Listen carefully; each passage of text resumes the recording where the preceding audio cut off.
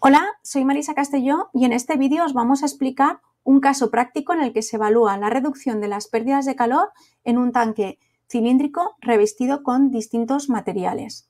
Así, el objetivo de esta presentación es que veamos cómo aplicar la ecuación que nos permite estimar el transporte de calor entre dos puntos de un sistema cuando los mecanismos predominantes son la conducción y la convección. Para eso haremos una representación gráfica de los materiales sólidos involucrados en las diferentes soluciones técnicas, incluiremos las características de los fluidos y estableceremos si hay o no variación del área perpendicular al transporte. Los materiales que vamos a necesitar son los que se muestran en la diapositiva. Por un lado tendremos el tanque cilíndrico representado por un frasco de vidrio en el que colocaremos agua. Por otro lado, utilizaremos también una placa agitadora y calefactora para mantener la temperatura del agua en el interior del depósito uniforme y aproximadamente en 50 grados. Para ello tendremos en el interior un agitador magnético. Necesitaremos también sondas de temperatura, como serán las que pongamos en las interfaces de los materiales del montaje y la que esté dentro del depósito. Además, utilizaremos dos materiales aislantes, por un lado el polietileno reticulado y por otro lado el policloropreno. Para cada material tendremos dos longitudes. La que colocaremos en la capa interior será más pequeña y la que colocaremos en la parte exterior será más larga. Esto es así porque al ser la superficie perpendicular al flujo de calor dependiente de la distancia, puesto que es una superficie cilíndrica, se requerirá más área para revestir el tanque conforme nos alejemos del centro. Para que lo veáis mejor, os mostramos este montaje con las ondas de temperatura colocadas en las interfaces de los materiales, en el interior del tanque y en la parte exterior del tanque. En esta propuesta se plantean cuatro posibilidades. En la primera, el tanque de vidrio no tiene aislantes, en la segunda tendría un aislante tipo 1, representado en color gris. En la tercera, un aislante del tipo 2, que en el esquema es la capa negra. Y por último, en la posibilidad 4, seleccionaríamos el que mejor resultado haya dado de los dos aislantes estudiados y veríamos si duplicar su espesor mejora considerablemente o no el aislamiento del tanque.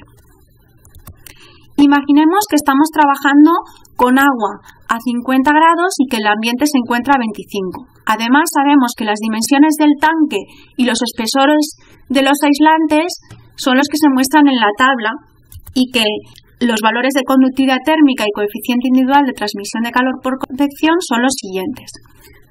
Con ello, podemos aplicar directamente la ecuación que permite predecir la pérdida de calor a través de varios materiales colocados en serie y como vemos en el denominador se encuentran los términos de resistencia debida por un lado a la conducción, que serían estos tres en este esquema de trabajo, o debidas a la convección. La resistencia debida a la convección sería en este caso este término junto con este término. La resistencia global se representa por este cociente, 1 dividido por el coeficiente global de transmisión al calor y el área perpendicular al transporte. En este caso, como vamos a trabajar con un tanque cilíndrico, las resistencias debidas a la conducción eran influenciadas por el área media logarítmica, que se representa por esta fórmula, ya que el área perpendicular al transporte no es constante. Además, en los términos de convección tendremos que tener en cuenta, en este caso, el área interna y en este otro, el área externa. Para proceder a los cálculos, primero tendremos que obtener los radios de las interfaces de los materiales. A continuación, calcularemos las pérdidas de calor para cada caso.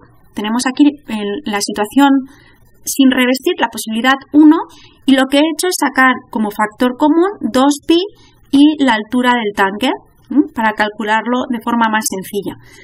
en el primer caso, sin tener en cuenta los aislantes, tendríamos una pérdida de calor de 21,6 vatios. En el segundo caso, 2,9 vatios. Con el segundo aislante, que sería el policloropreno, la pérdida de calor no se reduciría tanto como con el polietileno reticulado. Y Por tanto, eh, seleccionando el polietileno reticulado como material que utilizaríamos para reducir las pérdidas de calor, si consideramos una capa de doble espesor, en este caso reduciríamos la pérdida de calor, pero eh, tenemos que valorar si nos interesa o no asumir ese coste adicional.